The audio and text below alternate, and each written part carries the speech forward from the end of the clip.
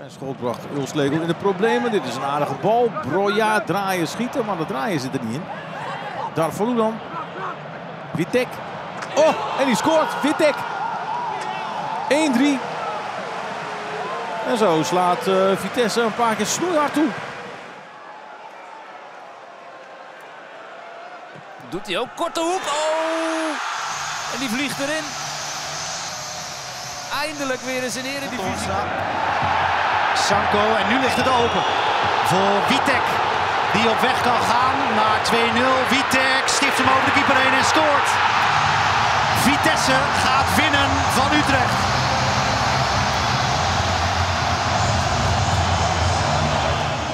Vier man in de muur. Het wordt Witek met links. En dat is een goede goal zeg. Dat is een goede goal. De vrije trap van Witek.